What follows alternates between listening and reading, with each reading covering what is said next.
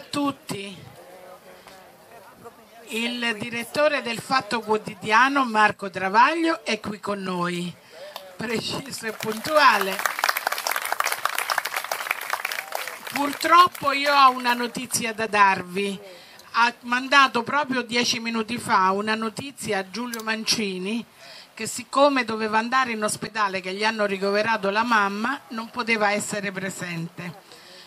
Io sono molto dispiaciuta per questa cosa, però so che il, il direttore va benissimo avanti da solo. Io ve lo presento di nuovo, do la parola a lui, poi lui vi consentirà di fargli delle domande. Grazie a tutti per essere intervenuti.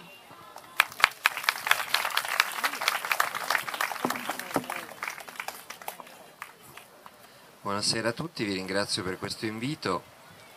E, ehm,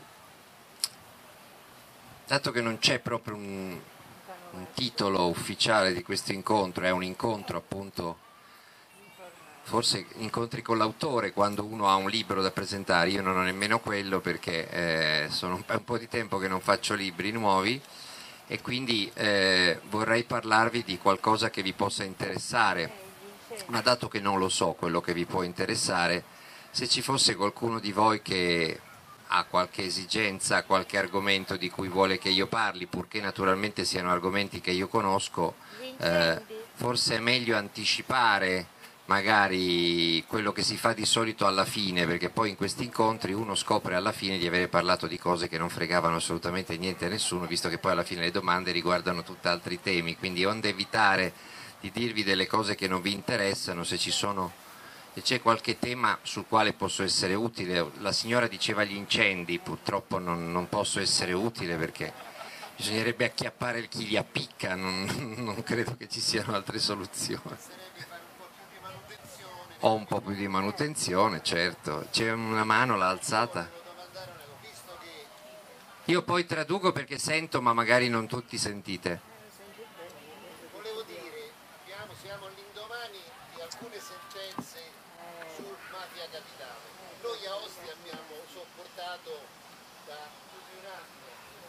da due anni circa il fatto che Roma Capitale poi ha inciso su Ostia perché poi Ostia hanno sospeso l'attività diciamo, democratica perché non abbiamo più organi eletti Ma traduceva lui però eh. no, volevo, volevo soltanto sapere se il dottor Travaglio ci può intanto parlare del problema di, di mafia capitale del fatto che ha inciso pesantemente su Ostia e sul fatto che le sentenze dei tribunali già due volte hanno escluso la componente, ecco, l'aggravante mafiosa. Grazie.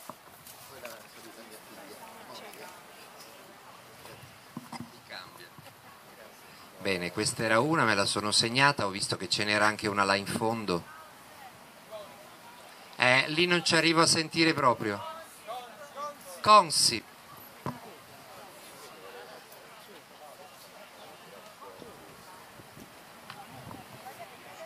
Cominciamo di qua o c'è qualcos'altro? Ah, altre due. Una signora?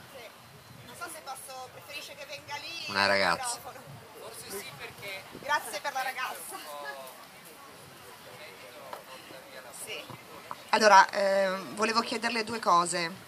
La prima perché c'è qui il padrone di casa che è l'ingegner Renato Papagni, volevo chiedere se è stata fatta pace con uh, i balneari perché il suo giornale è stato insomma, molto critico su questa categoria con articoli anche particolarmente pesanti. E la seconda che volevo chiederle è invece riguardo la sua opinione sul livello dell'informazione su questo territorio, perché eh, sappiamo tutti che da quando siamo stati commissariati ci sono, state, ci sono stati giornalisti che hanno avuto la luce della ribalta eh, e quindi anche una certa fortuna eh, sostenendo una tesi che è quella che poi è stata di fatto buttata giù con la sentenza di mafia capitale e altri che purtroppo neanche l'ordine dei giornalisti ha difeso ehm, fa mentre facevano il loro lavoro e anzi hanno subito insomma, forte diffamazione. Quindi chiedo queste due cose. Poi mi sopravvalutate perché io purtroppo le, le facce... a Ostia sono stato due volte in vita mia per una serata e una mezza giornata, però comunque cercherò di rispondere. Prego. Spero che non abbia mangiato già. Ah, ecco, perché prima del no, mangiato. No, volevo fare la domanda delle 100 pistole, come si dice, no? Quella, diciamo, più personale. E, e poi pensavo, dico, come la presentiamo? Il film di De Crescenzo, così parlò Bella Vista, c'era quello che faceva sempre le rime, che voleva... e poi c'era uno che subito diceva ma come fa, come fa? Ecco, la domanda che credo tutti quanti noi, io che la seguo già dai tempi dell'ITV, eccetera, che con mia moglie abbiamo organizzato anche qualcosa insieme, e mi domando, sapendo che lei ha tutti contro, sapendo che c'ha tutte le grandi testate contro e la politica contro, eccetera, eccetera. Allora talvolta la domanda proprio che io mi chiedo, come fa? È una cosa veramente... Eh, diciamo ci vuole il fisico, no? Ci fosse un fisico bestiale, dice, quello che fa. A tenere, a tenere alta questa eh, razionalità e questa posizione. Ok. Se non c'è altro comincio, se invece c'è altro andiamo avanti. Così almeno siamo sicuri di dire cose che almeno una persona interessano. Prego signora.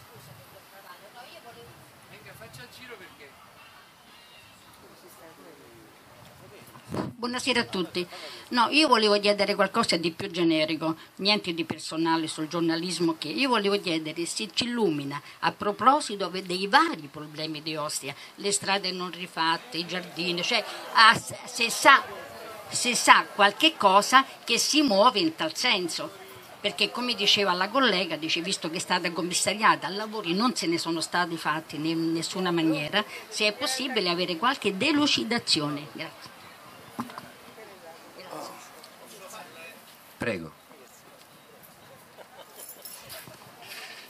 La mia domanda è eh, rivolta a lei come nella sua funzione di direttore di una testata giornalistica e quello che mi eh, interessava chiederle era di capire come lei la pensa per quanto riguarda i rapporti tra magistratura politica e eh, informazione e giornalismo, cioè quali sono per lei i limiti che un giornalista deve rispettare ad esempio per quanto riguarda il segreto eh, delle indagini, eh, sappiamo che ci sono state proprio per Consip, eh, ci sono stati i suoi colleghi che sono stati addirittura destinatari di una perquisizione. Allora il, quanto il, il diritto costituzionalmente garantito che il eh, di manifestare la propria opinione, l'articolo 13 può essere condizionato dalla magistratura e quanto oggi la magistratura è condizionata dalla politica, perché eh, almeno chi eh,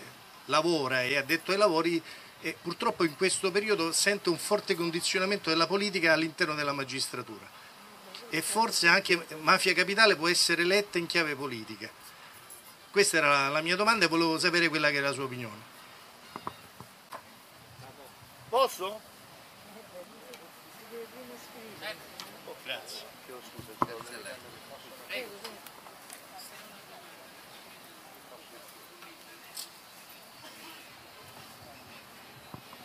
Salve, buonasera.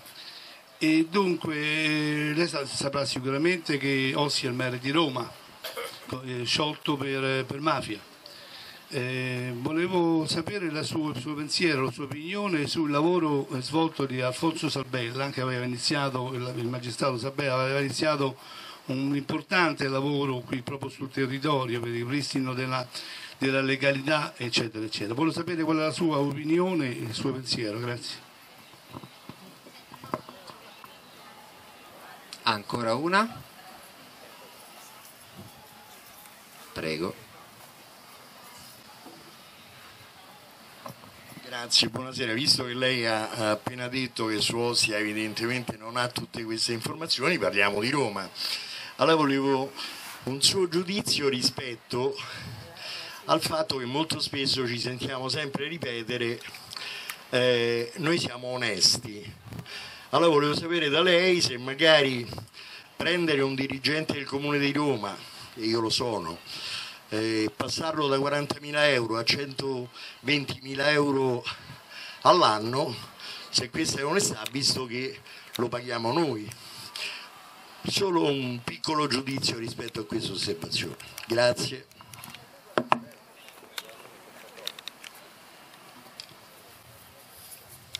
Se poi dovessero mancare le sedie ce ne sono anche due qua eh, che noi non eh, occupiamo. Volevo sapere se anche lei si sentiva un po' più tranquillizzato dopo la sentenza di ieri, che ci sembra ci abbia fatto ritornare nella Sicilia degli anni Ottanta. La mafia non esiste, non si sente tranquillizzato anche lei? Io tantissimo.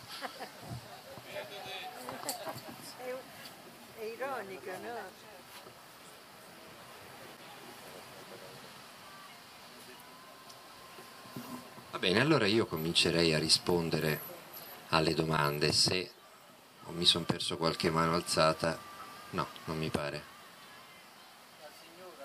C'è una signora? Ah, prego, venga, venga.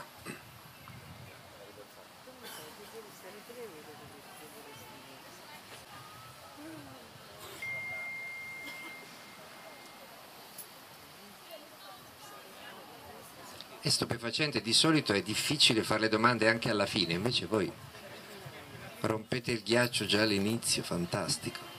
Eh, salve, io sono una ragazza toscana, sono di Siena e ho visto al primo impatto già dalle mie scuole superiori all'università cosa ha significato il crack Monte dei Paschi.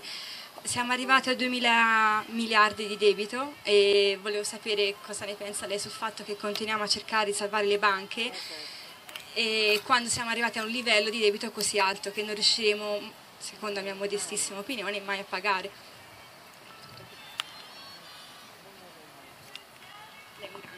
Eccoci, grazie.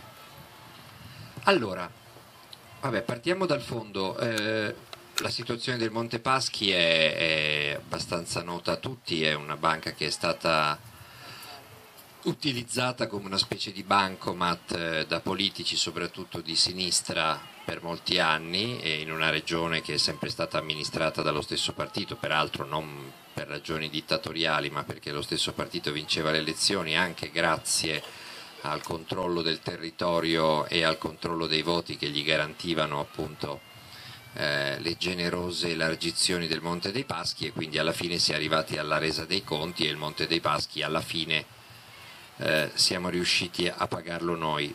E, mh, questo fatto che salvano le banche è molto impopolare perché ovviamente si tratta di denaro pubblico che viene in, qualche, in vari modi eh, iniettato nelle, nelle casse di società private che come sempre avviene in Italia eh, socializzano le perdite e privatizzano gli utili. Eh, è uno strano concetto del privato, è lo stesso privato che noi abbiamo nella sanità, no? dove ci sono cliniche private che non si sa bene per quale motivo vengono finanziate dalle regioni per svolgere quelle funzioni che la sanità pubblica dovrebbe svolgere, ma che la sanità pubblica viene così mal gestita che non può svolgere e quindi poi ci si, si ricorre a, a, cliniche private che però in gran parte sono finanziate col denaro pubblico e quindi mi domando in che senso sono private? Sono private nel senso che chi prende i soldi è un privato, ma poi purtroppo eh, i soldi sono di provenienza pubblica. Eh, è chiaro che quando eh, i governi salvano le banche dicono che lo fanno per eh, salvare i risparmiatori, anche se in questi ultimi casi non solo del Monte dei Paschi ma anche di altre banche come la Banca Etruria, come le due banche venete, come la Banca delle Marche e altre banche che sono defunte o che sono decotte negli ultimi anni, eh, anche i risparmiatori hanno avuto ben poco. Eh, quindi da un certo punto di vista si può comprendere eh, la ragione per cui i governi poi arrivano a gestire male le banche. Eh, il problema è che si comportano sempre come se eh, i partiti e quindi coloro che stanno al governo non avessero mai avuto nulla a che fare con queste banche, invece sappiamo che tutte le banche, eh, pur essendo private, eh, hanno un occhio di riguardo per il mondo della politica, il mondo della politica soprattutto tramite le fondazioni che controllano le banche è sempre riuscita a mettere lo zampino e a nominare gli amministratori che quasi mai erano manager eh, capaci e che infatti hanno dato sempre pessimi risultati e di fatto non hanno mai patito almeno politicamente le conseguenze della loro mala gestione, hanno continuato tutti quanti a fare carriera spostandosi da una banca all'altra, l'ultimo caso, uno dei più clamorosi, è quello di un banchiere che non possiamo incolpare per il disastro del Monte dei Paschi perché è arrivato alla fine, e cioè Profumo, ma uno che ha fatto il banchiere per tutta la vita, nemmeno poi così bene, visto che anche Unicredit non è stata così ben gestita e che è stato premiato con, la, con il ruolo di amministratore di un colosso che peraltro si occupa di armamenti e di aeronautica come Finmeccanica senza avere la minima competenza per un'azienda di quel genere è abbastanza singolare, però stiamo parlando di un banchiere che ha ottimi rapporti con la politica. Quindi io penso che sarebbe, eh, sia accettabile eh, che il governo metta del denaro pubblico per salvare le banche, eh, sempre che appunto ciò sia fatto per salvare i risparmiatori, purché poi vengano rispettate alcune condizioni, cioè primo vengano pubblicati gli elenchi eh, dei creditori eh, che hanno beneficiato di crediti assolutamente abnormi rispetto a quello che avrebbero potuto restituire e che di solito erano raccomandati dalla politica e poi che i manager finiscano finalmente la loro carriera, cioè non è pensabile che questi signori continuino a fare eh, la giostra indiana da una poltrona all'altra dopo aver rovinato una, due, tre banche più aziende varie. Eh, per quanto riguarda la, la, vicenda di Roma, la vicenda di Roma a cui faceva riferimento il signore, che se non ho capito male è un dirigente del, del comune di Roma, è la vicenda che riguarda Salvatore Romeo, che era un... Eh, scusate, devo rispondere soltanto al mio giornale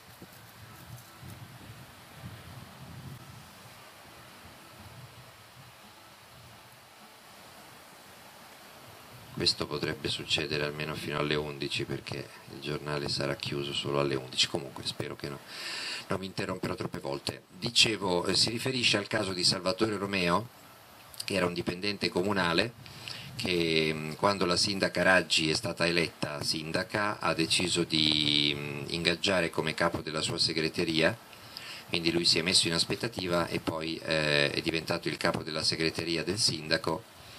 Ehm, con una delibera che era praticamente la fotocopia di quella eh, con cui il, i sindaci precedenti avevano nominato il loro, eh, il loro segretario, mm, il loro capo segreteria e quindi con lo stesso trattamento eh, economico.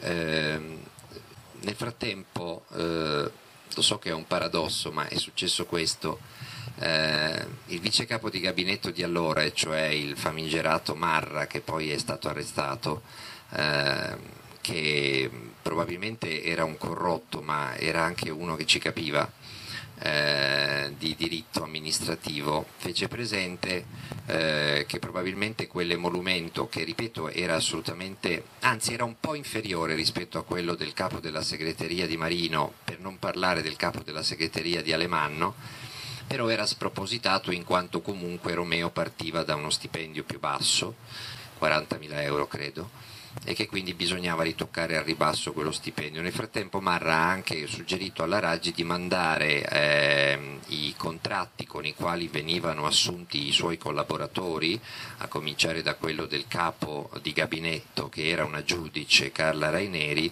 all'ANAC, all'autorità nazionale anticorruzione diretta da, da Raffaele Cantone eh, per valutare la legittimità di quegli atti e la correttezza di quegli atti, visto che eh, diciamo che su queste questioni amministrative c'è una giurisprudenza talmente discordante, talmente confusa tra un comune e l'altro, eh, tra quello che dice un TAR e quello che dice un altro, tra quello che dice un una sezione del Consiglio di Stato e quello che dice un'altra, che comunque era sempre meglio eh, pararsi il culo, come si dice, e farsi dire da Cantone se andava tutto bene o meno. Cantone esaminò quei contratti, quei, quelle, sì, quei contratti di, di, di, di assunzione, quelli dei libere e disse che quella, quella dell'assunzione di Romeo era corretta, anche se il, lo stipendio era opinabile ma non spettava a lui valutarlo purché fosse congruo, mentre invece la, la nomina della Raineri era viziata perché si era seguito l'iter sbagliato e quindi anche il trattamento eh, economico sbagliato eh, quindi la Raineri avrebbe dovuto essere ingaggiata con un altro tipo di contratto, con un altro tipo di stipendio che sarebbe stato inferiore a quello che lei percepiva come magistrato e infatti quando la Raggi le propose un altro tipo di trattamento, un altro tipo di contratto sull'indicazione di Cantone, la Raineri si incazzò e se ne andò sbattendo la porta, portandosi dietro anche l'assessore eh, a cui era molto legata, che era eh, l'assessore al bilancio, l'assessore Minenna, che se ne andò per protesta contro il fatto che la Raggi aveva rispettato un'indicazione dell'autorità nazionale anticorruzione. Sul contratto di Romeo invece c'era un bollino di legittimità eh, a quel punto la Raggi comunque decise di ridurgli lo, lo stipendio, eh, quindi eh, Romeo non ha mai percepito i 120 mila euro inizialmente previsti, ma iniziò subito a percepirne credo 90 mila o qualcosa del genere. Eh, dopodiché però poi se ne andò perché scoppiò il casino della, della, delle polizze eh, che lui aveva intestato a 12 persone che conosceva senza avvertirle peraltro, tra cui la Raggi e quindi poi se ne andò e quindi credo che eh, eh, quel problema si sia posto per pochissimi mesi. Eh, il fatto che diceva il Signore l'onestà eh, è anche que- cioè onestà vuol dire anche non dare stipendi troppo alti, sono perfettamente d'accordo. Eh, adesso ho letto dei dati, non li ho ancora potuti verificare perché sono stati diffusi l'altro giorno sui, diciamo, sui risparmi che i 5 Stelle dicono di avere fatto rispetto al funzionamento dei consigli comunali precedenti, che se sono veri sono cospicui. Eh, anche per quanto riguarda le spese del gabinetto del sindaco eh, ho visto che eh, questa amministrazione rispetto ai sindaci precedenti ha speso molto meno anche perché ha ancora alcune caselle da riempire ehm, ma in linea di principio sono d'accordo che eh, l'onestà non riguarda soltanto il non prendere tangenti eh, o il non avere rapporti con la mafia, ma riguarda anche eh, il fatto di retribuire le persone in maniera congrua ma non eccessiva, quindi sono, sul principio sono perfettamente d'accordo. Ehm, poi c'era una domanda sull'attività che ha svolto l'assessore eh, Sabella durante l'ultima, l'ultima fase della giunta Marino, proprio quella eh, successiva al, all'esplodere dello scandalo che all'epoca si chiamava Mafia Capitale o Mondo di Mezzo e che adesso ovviamente non possiamo più chiamare Mafia Capitale perché l'accusa di mafia agli imputati è caduta, quindi chiamiamola Mazzetta Capitale, chiamiamola Tangentopoli Capitale come ci pare.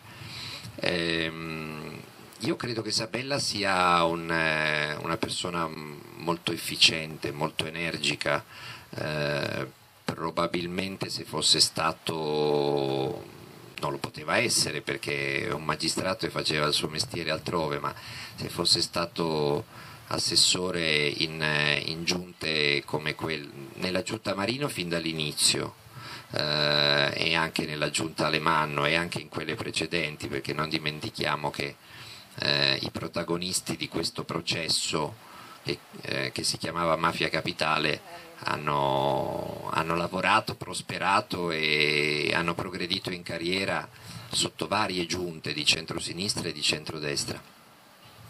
Ecco, se ci fosse stato Sabella in quelle giunte probabilmente certe cose non sarebbero accadute oppure si sarebbe dimesso subito perché è, è un uomo molto energico, molto rigoroso, molto pratico, eh, che fu, credo, una scelta felice eh, da parte del sindaco Marino. Probabilmente quando era troppo tardi. Ehm, non so dire di quello che ha fatto qui a Ostia perché ripeto io purtroppo eh, so, sono di Torino, vivo a Roma da cinque anni ma Ostia l'ho vista due volte in vita mia, ho letto, ho letto varie cose però se uno non, non, verifica De Visu tutti abbiamo letto varie cose quindi probabilmente eh, su questi temi ne sapete più voi di me. Ehm,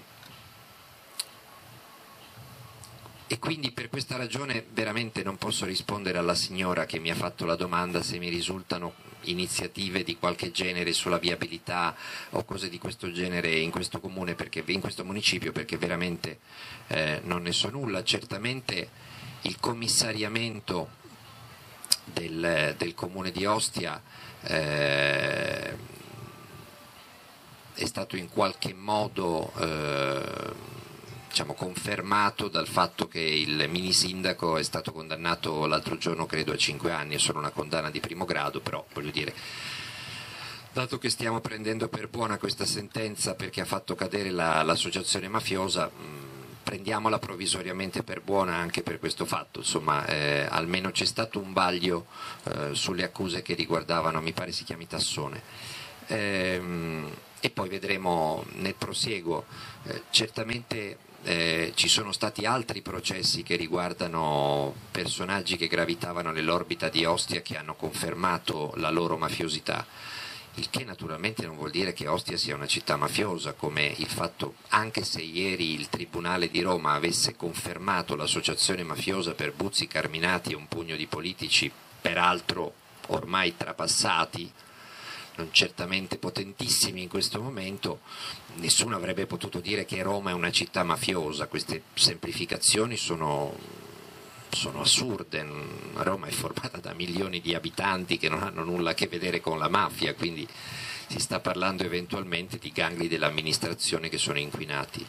Eh, io continuo a pensare che sarebbe stato giusto, come fu commissariata Ostia, sarebbe stato giusto commissariare anche Roma, eh, perché perché, non, perché, non perché Roma sia una città di mafiosi, assolutamente no, ma perché mh, quando la permeabilità della pubblica amministrazione è a livelli così alti e così allarmanti, quando si fanno entrare eh, negli uffici importanti del comune personaggi come Buzzi e Carminati, vuol dire che è infetta proprio la macchina comunale, che non basta fare le elezioni per cambiare il sindaco e per cambiare gli assessori, perché il sindaco e gli assessori devono comunque camminare e operare con le mani e con i piedi di un'enorme eh, macchina amministrativa che credo sia formata da 20.000 e passa eh, dipendenti. Eh, il Comune di Roma credo che abbia cento e qualcosa dirigenti e la metà più qualcuno, quindi più della metà sono sotto inchiesta. Naturalmente di questi alcuni verranno poi assolti, altri verranno condannati, ma non è normale. Eh, immaginate com'è possibile che il Comune di Roma abbia la metà dei dirigenti indagati. Fate mente locale nel vostro condominio, nel vostro condominio la metà dei condomini è indagata? No. Se viveste in un condominio con la metà dei condomini indagati, vi preoccupereste, direste ma dove sono finito?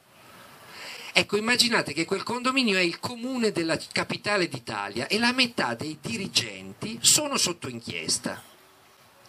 In una città dove la procura non è che abbia mai brillato per grandi indagini, perché prima di Mafia Capitale non si ricorda praticamente niente cioè qui a Roma un potente per finire indagato deve proprio accoltellare qualcuno sotto le telecamere di Piazzale Clodio, allora forse lo indagava, altrimenti Roma era nota come la procura chiamata il porto delle nebbie. Quindi se una città dove fino all'altro ieri la magistratura non vedeva o faceva finta di non vedere o si voltava dall'altra parte, ha la metà dei dirigenti indagati non basta cambiare il sindaco e cambiare gli assessori, Beh, cioè è chiaro che, che, che ci vuole un commissariamento, un commissariamento accompagnato anche da qualche legge speciale che consenta magari eccezionalmente di sospendere dal lavoro i dirigenti indagati, soprattutto se sono indagati per fatti gravi.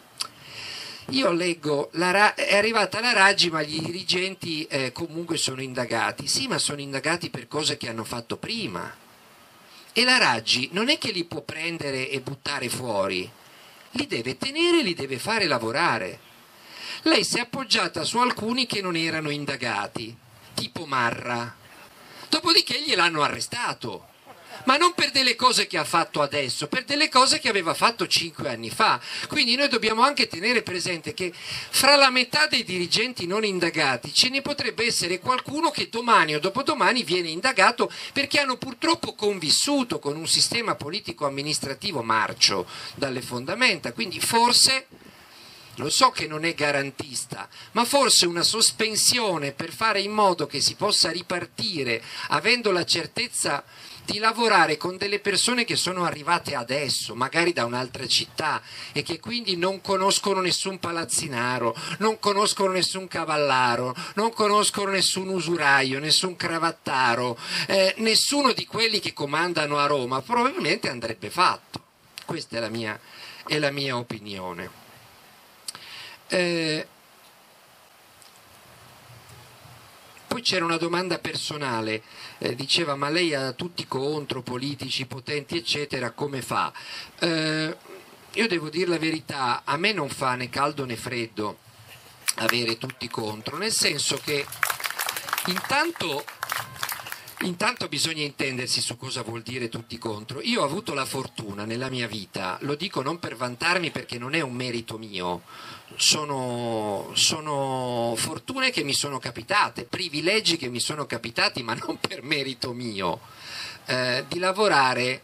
Eh, ho cominciato a livello nazionale in un giornale diretto da Montanelli, in televisione non, non, mi si vedeva, eh, ma colla- ho collaborato per la prima volta con Il Fatto di Enzo Biagi e questo spiega perché il giornale che poi abbiamo fondato insieme ad altri amici e colleghi si chiama Il Fatto.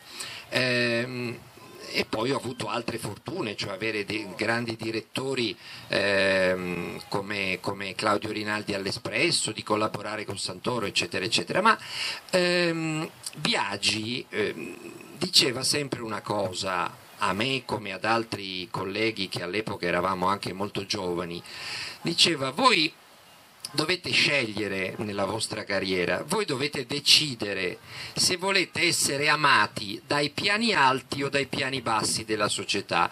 Chi è amato dai piani alti della società non può essere amato dai piani bassi, viceversa chi è amato ai piani bassi non è amato ai piani alti. Quindi dovete decidere se fate i giornalisti per i piani alti o per i piani bassi. Io personalmente ho sempre pensato che fosse utile fare il giornalista e fosse divertente, perché io mi diverto molto a fare il giornalista in questo modo, per spiegare alla gente quello che la gente magari non capisce. Perché? Perché noi abbiamo il compito di tradurre in italiano semplice le cose complicate che succedono nella politica, nei tribunali, nell'economia. Io non sono capace nell'economia, me la cavo meglio sulla politica e sui tribunali perché ognuno ha, ognuno ha, il suo mestiere, ognuno ha le sue cose da fare, non, non, uno non può intendersene di economia, di politica, di giustizia, il giornale invece deve essere fatto da gente che se ne intende un po' di tutte le cose complicate e poi le spiega in termini semplici, comprensibili alle persone. Allora io il più bel complimento che mi fanno è quando mi dicono sa perché io la guardo in televisione oppure sa perché io la leggo sul giornale, perché quando lei parla e lei scrive si capisce, si capisce tutto e io le prime volte dicevo ci mancherebbe. Cioè, noi siamo fatti apposta per far capire le cose, mica siamo fatti per non farle capire. A quel punto ti senti rispondere sì, ma molti suoi colleghi sembra che lo facciano apposta a non farsi capire. Non si capisce mai come la pensano, non si capisce mai cosa dicono, non si capisce mai da che parte stanno. Quando raccontano le cose sembra che vogliano complicare le cose semplici. Ecco, io mi diverto molto invece a semplificare le cose complicate e quindi perché ho detto tutto questo? Ah sì, perché la domanda hai tutti contro. Io ho deciso di fare il giornalista perché mi piace raccontare le cose possibilmente vere, quelle che in quel momento mi paiono vere, alle persone. Per rendere un servizio alle persone, come c'è chi ha la vocazione di fare il medico per salvare la vita alle persone, io gli vorrei salvare la testa, cioè li vorrei rendere più libere e soltanto quando le persone sanno le cose sono libere di fare delle scelte e di prendere delle decisioni. Questa è la ragione per cui io godo a fare il giornalista e mi piace molto quando mi sento dire quando lei scrive si capisce. Quindi non mi preoccupo minimamente se ai piani alti mi detestano, mi preoccuperei se mi amassero, perché vorrebbe dire che ho sbagliato qualcosa. Il giornalista, per mettersi al servizio delle persone e dei cittadini, deve essere un rompicoglioni nei confronti di quelli che stanno ai piani alti. Chi sta ai piani alti del potere non ama che esistano giornalisti che fanno capire quello che loro vogliono che non si capisca, non ama che esistano dei giornalisti che fanno sapere quello che loro non vogliono che si sappia. Ma se noi fossimo qua a fare i giornali o la televisione o il web, quello che vole- o la radio, per diffondere ciò che il potere vuole che si sappia, ma saremmo completamente inutili perché basterebbero i portavoce e gli uffici stampa dei governi, dei partiti, delle ASL, eh, dei tribunali, delle procure. Cioè, noi dobbiamo andare a cercare quello che gli altri ci nascondono e dato che lo facciamo di mestiere e siamo al servizio dei cittadini, noi abbiamo questo compito di eh, allungare i nostri occhi negli angoli bui per cercare di illuminare quegli angoli bui al servizio delle persone, per fare in modo che le persone attraverso i nostri occhi vedano laddove qualcuno ha deciso che non devono andare a rovistare. Così poi le persone ne sanno di più, quando vanno a votare hanno qualche strumento in più per votare bene secondo coscienza, perché guardate che la democrazia non è mica mandare a votare la gente ogni tanto, Pure Putin fa votare i russi, ma la Russia non è una democrazia. Pure Fidel Castro faceva votare, non era una democrazia. Pure Mussolini ogni tanto faceva un plebiscito. La prima volta ha vinto pure delle elezioni democratiche, ma non era democrazia perché? Perché la gente quando va a votare deve saperlo un po' di tutto tutto ciò che deve sapere nel momento in cui deve scegliere fra questo e quell'altro. Deve sapere se chi si candida l'ha fregato per cinque anni o ha fatto invece il massimo per cinque anni, se chi si candida è un bugiardo o è una persona sincera, se chi si candida ha dimostrato nella sua vita di poter mantenere almeno qualcuna delle promesse che fa oppure no. Se chi si candida ha cambiato 80 partiti e quindi presumibilmente ne cambierà altri 8 nella successiva legislatura. Ecco, tutte queste cose bisogna saperle prima di andare a votare, esattamente come quando uno ha un piccolo gruzzolo e lo vuole investire, dovrebbe sapere che cosa c'è in borsa di interessante che cos'è che potrebbe fargli fruttare il suo gruzzolo e che cos'è che glielo potrebbe completamente azzerare. Eh, guardate quanta gente si fa fregare negli investimenti perché chiede alla sua banca dove investire i soldi e poi all'indomani si ritrova con un pugno di mosche. No? Perché questo?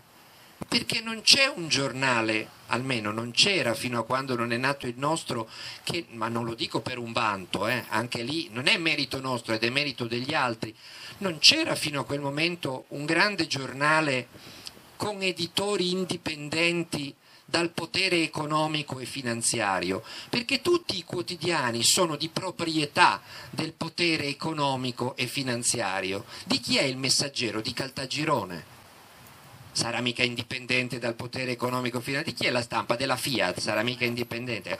Il, di chi è il Corriere? Adesso alla maggioranza Cairo, ma c'è una, una, serie di azionisti che vanno da Della Valle a Mediobanca, alla Fiat, alle assicurazioni generali, a Merloni, ai cementifici di, di come si chiama quell'altro, non mi ricordo, eccetera, che sono... No, De Benedetti nel Corriere non c'è, De Benedetti lo stavo per dire per Repubblica eh, e per l'Espresso. Eh, quando tu guardi le pagine finali, per non parlare del Sole 24 Ore, quando guardi le pagine eh, de, o del Tempo che è di, di Angelucci, che ha le cliniche convenzionate con la regione, cioè, insomma, eh, stiamo parlando di personaggi che ovviamente non hanno alcun interesse a far sapere i propri impicci. Quindi quando voi leggete le pagine economiche e finanziarie di quei giornali che magari vi suggeriscono dove investire e dove non investire, io personalmente non mi fiderei, esattamente come quando voglio comprare una macchina, non è che vado a leggere la stampa di Torino per vedere che cosa ha fatto di bello la Fiat, perché per la stampa la Fiat ha fatto solo auto meravigliose, anche quando ha fatto la Duna cioè una macchina che cappottava in parcheggio, secondo la stampa era una bellissima macchina, perché? Perché il padrone l'aveva prodotta, ma dai su, ti paga lo stipendio, non puoi, non puoi, mica, scrivere, non puoi mica scrivere che ha fatto una macchina che sembra un ferro da stiro, eppure quanti ne ha fatti di ferri da stiro la Fiat?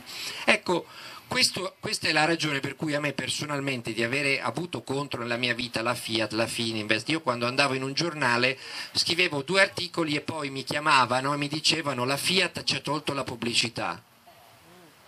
La Fininvest ci ha tolto la pubblicità, quindi noi dobbiamo scegliere fra la pubblicità della Fiat e della Fininvest e te e quindi scegliamo la pubblicità della Fiat e della Finim e mi facevano fuori, per cui a furia di vivere quelle esperienze poi ho deciso di prendere e di fondarmi un giornale dove non ci fossero né la Fiat né la Finim né Caltagirone né Angelucci né il diavolo che se riporti, ma ci fossimo soltanto noi e degli editori che hanno come unico interesse quello di pubblicare un giornale. E alla fine nessuno ci telefona più per dirci quello che dobbiamo scrivere o quello che non dobbiamo scrivere. Se sbagliamo, sbagliamo, sbagliamo da noi, ecco, non perché ce l'ha chiesto qualcuno.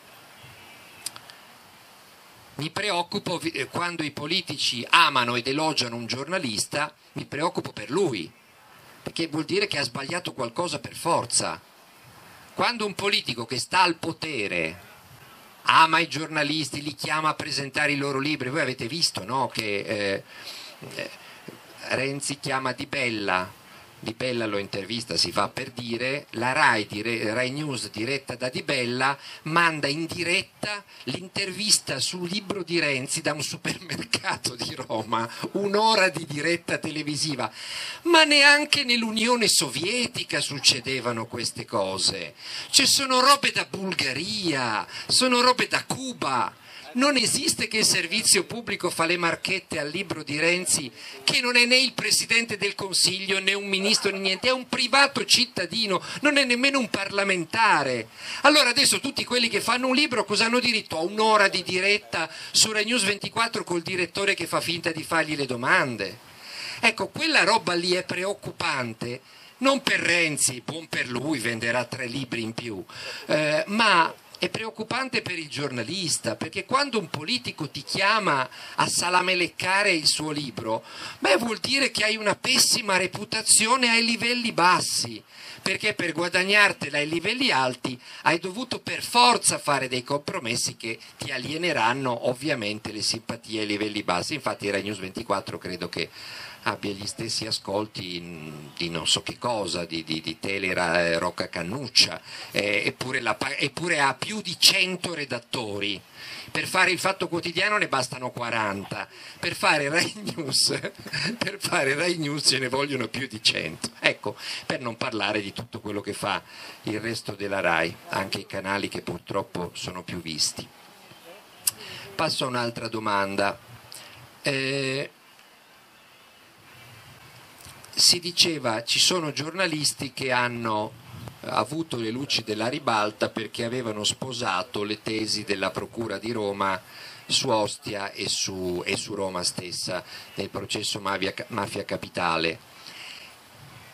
Ci sono anche giornalisti che sono stati minacciati per avere scritto delle cose, ci sono giornalisti che vivono sotto scorta non perché gli fa piacere ma perché hanno ricevuto minacce pesanti eh, e ci sono giornalisti che venivano minacciati anche prima che la Procura di Roma si accorgesse che c'era, che no, che c'era qualcosa che non funzionava, per usare un eufemismo, a Roma come a Ostia.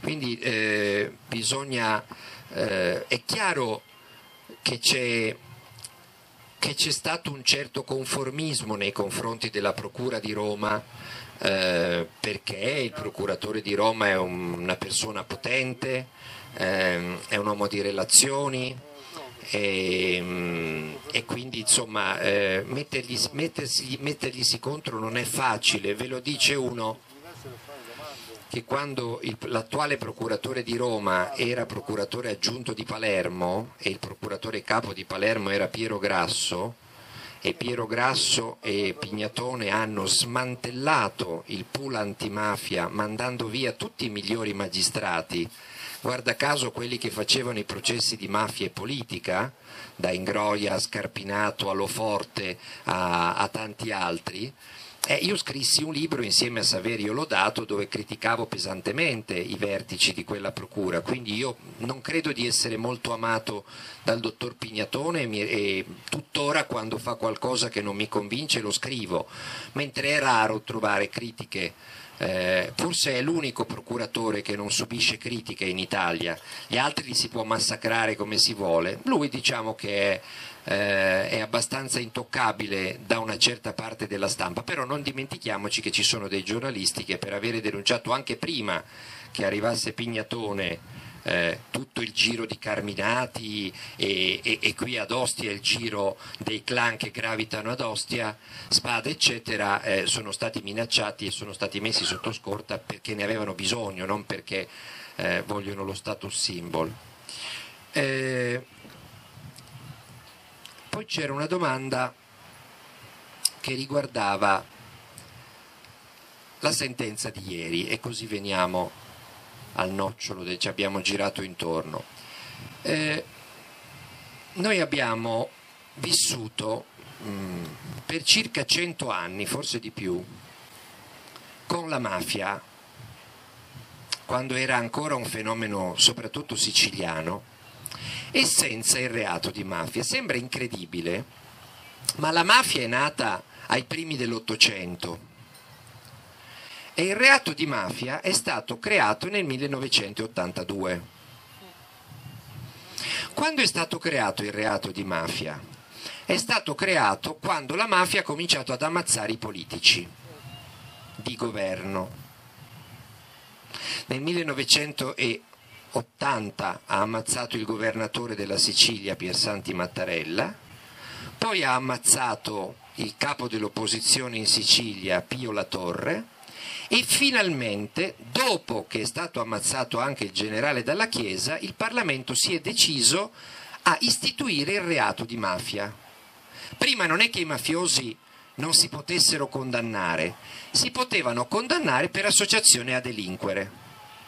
Quella che ieri è stata chiamata nel processo Mafia Capitale l'associazione a delinquere semplice, perché non aggravata dalla mafia.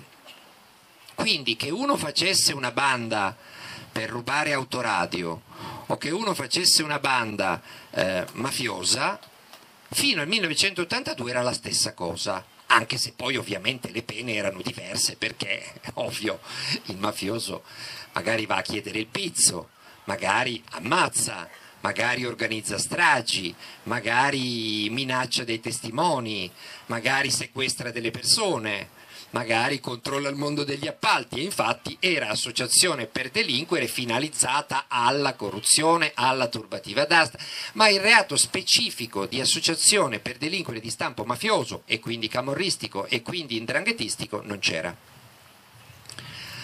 Adesso quel reato che è del 1982 è già vecchio. Perché? Perché nel 1982 la mafia era ancora un fenomeno abbastanza, non del tutto, ma abbastanza peculiare della Sicilia, come la Camorra lo era della Campania, come l'Andrangheta lo era della Calabria, all'epoca c'era anche la Sacra Corona Unita in una parte della Puglia che per fortuna in parte almeno è stata smantellata. Nel frattempo le mafie si sono ramificate non solo in Italia ma in tutta Europa. Ci sono insediamenti dell'Andrangheta in Germania. Fratello di Provenzano ha vissuto decenni in Germania, per esempio. Lo sanno tutti, ci sono state stragi di mafia addirittura all'estero. Milano, ve lo posso assicurare, è una città molto più mafiosa di Roma. Ve lo posso assicurare e sono cascato dalle- veramente dalle nuvole quando il Raffaele Cantone l'anno scorso dichiarò che mentre Roma non ha gli anticorpi, Milano è tornata a essere la capitale morale. Da quando l'ha detto è successo di tutto, finito sotto inchiesta Sala eh, per gli appalti truccati di Expo, eh, e, hanno, preso, hanno preso mafiosi, indranghettisti e camorristi che si erano pappati la gran parte degli appalti e dei subappalti di Expo che avrebbero dovuto essere immuni da infiltrazioni perché adesso abbiamo l'ANAC e poi avevamo anche il generale Mori che vigilava no, sulle infiltrazioni della mafia negli appalti di Expo. Meno male che c'era il generale Mori che vigilava. Figuratevi se non ci fosse stato il generale Mori che vigilava quanti ne avrebbero scoperti di appalti infiltrati dalle mafie. Ma il generale Mori è come quei dirigenti no, eh, di banca che quando hanno rovinato una banca vengono promossi ad amministrarne un'altra. Il generale Mori è quello che avviò la trattativa con la mafia nel 1982 dopo che era stato fatto secco Falcone, nella strada andò da Ciancimino per trattare con i mafiosi che avevano ucciso Falcone, è quello che fece scappare Provenzano. No? ne ha combinati tutti i colori, infatti è sempre stato promosso. Alla fine l'hanno nominato a guardia del pollaio, senza accorgersi che era la volpe eh, che stava facendo la guardia del pollaio e infatti le galline sono finite come sono finite. Tornando a Mafia Capitale, il reato è già vecchio, il reato di mafia. Io non lo so se eh, si potesse dire o non si potesse dire che l'organizzazione che avevano messo in piedi Buzzi e Carminati e gli altri fosse una vera e propria cosca mafiosa, sia pure minore, oppure no. Alcuni elementi facevano pensare di sì, una delle peculiarità della mafia è l'uso della violenza. Violenza che puoi neanche non usare quando la gente sa che potresti usarla. Basta uno sguardo a un boss mafioso per spaventare a morte le persone, non c'è bisogno di fargli sparare a uno per spaventarlo. Se si sa chi sei, basta guardarlo. Ora, accanto a Carminati c'era un certo Spezzapollici. Perché veniva chiamato Spezzapollici? Perché aveva come diciamo, abitudine quella di rompere le ossa al prossimo. C'erano molti spezzapollici intorno a Carminati. Nel giro si sapeva, alcuni che non pagavano il pizzo a questi signori ricevevano la visita di, spizza, di spezzapollici e di altri questo faceva pensare che si potesse, forse un po' esagerando, parlare di associazione mafiosa. Io mi sono sempre domandato, ma che bisogno c'era di stiracchiare un reato che probabilmente per così come è scritto è comunque rischioso? E perché non si è puntato soltanto sulle cose assolutamente sicure, cioè le mazzette sistematiche ogni appalto era truccato, ogni appalto era fatto senza bando di gara, ogni appalto aveva dietro la tangente. Chi non era amico di quei signori non poteva neanche avvicinarsi al comune, alla regione, a certi municipi, a certe municipalizzate, da Eur a Ama, a Atac, eccetera, eccetera non gli bastava questo enorme latrocinio, questo gigantesco sacco di Roma che ha portato Roma praticamente con le casse completamente vuote e con eh, un tasso di devianza criminale che non si riscontra nemmeno nelle periferie metropolitane più degradate, né il Campidoglio e né i centri del potere romano. Me lo sono sempre domandato. Hanno voluto andare a questa sfida davanti al tribunale e se si può dire perdere perché non è una partita di calcio o un'elezione, l'hanno persa. L'hanno persa per quanto riguarda l'accusa di associazione mafiosa, l'hanno stravinta, anzi sono andati al di là delle loro richieste per quanto riguarda i reati di corruzione, di turbativa d'asta, di falso, di abuso, di concussione. Lì addirittura il giudice ha dato pene più severe, soprattutto ai politici, con i quali la Procura eh, nelle sue richieste era stata troppo forse generosa. Eh, dopodiché quando si leggono queste sentenze, a parte il fatto che c'è solo il dispositivo, le motivazioni le leggeremo, la ciccia ancora la dobbiamo leggere, anche se è prevedibile perché erano tutti fatti fotografati da fotografie, filmati, intercettazioni telefoniche, ambientali, pedinamenti, insomma sui fatti c'era poco da discutere, che questi pigliassero soldi e che altri pagassero, mh, li abbiamo visti proprio anche materialmente mentre se li scambiavano, c'è poco da, c'è poco da discutere. Il problema è come si configurano i reati, perché il codice è molto vecchio, da un certo punto di vista meno male perché l'ha scritto Alfredo Rocco che era un fior di giurista, era nel governo Mussolini ma almeno sapeva distinguere un reato da un paracarro, eh, adesso abbiamo dei legislatori che letteralmente non distinguono un reato da un paracarro, infatti ogni volta che riformano il codice penale lo peggiorano, quindi Dio ci conservi il codice Rocco fino a quando non, non avremo un giurista del suo livello che abbia la possibilità di scrivere un altro codice. Allora, eh, il codice è vecchio, è vecchio anche il 416 bis che gli fu aggiunto per il reato di mafia nel, 1900, nel 1982. Se si vuole punire questo nuovo fenomeno criminale, che non è mafia tradizionale e non è neanche corruzione tradizionale, ma è una via di mezzo, bisogna riscrivere una parte del codice, cioè bisogna riscrivere il reato di associazione mafiosa, bisogna istituire un reato che potremmo chiamare di mafio-corruzione che accetta anche comportamenti borderline che non sono proprio quelli tipici della mafia di una volta che scioglieva i bambini nell'acido, perché questi non scioglievano i bambini dell'acido, però menavano, però menavano, menavano ma non erano irresistibili.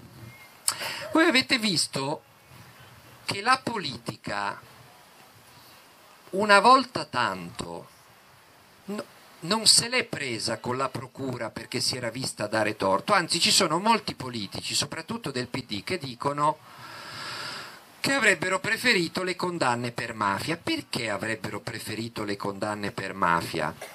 Perché se ti condannano uno del tuo partito per mafia, tu dici la mafia è un fenomeno clandestino, nascosto, quindi come facevamo noi a saperlo che quello era un mafioso?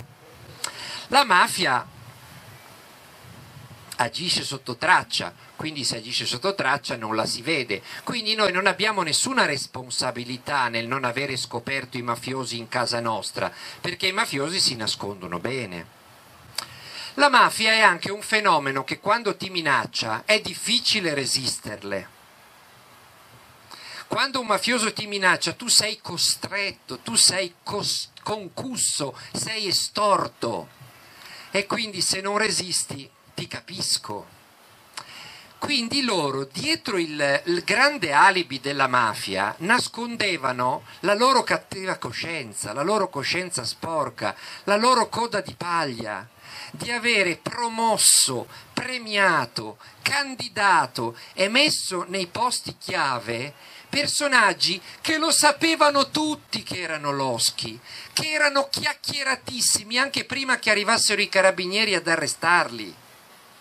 Ecco perché i politici sono incazzati per questa sentenza, perché questa sentenza gli scopre il culetto e lo fa vedere sporco a tutti, non solo a quelli che sono stati condannati, ma anche a quelli che li hanno messi in quei posti, che li hanno lasciati rubare per anni e che invece di punirli li hanno promossi proprio perché rubavano per loro.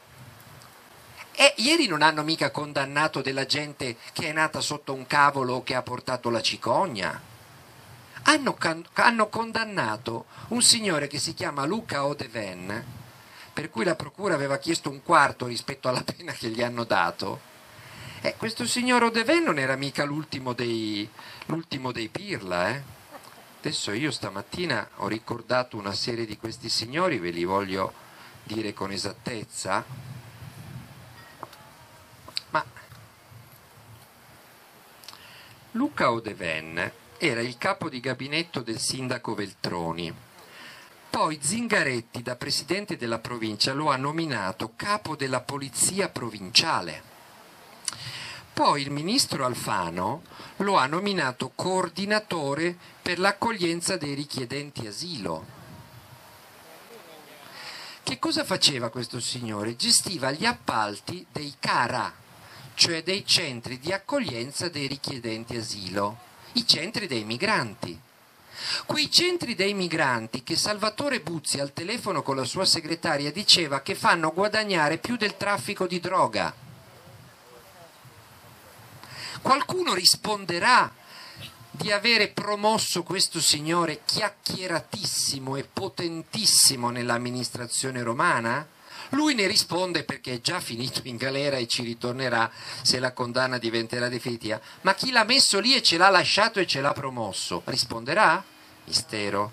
Ecco perché era meglio la mafia, dice era un mafioso, non si capiva, non si sapeva cosa faceva e poi sai, difficile resistergli perché il mafioso fa paura.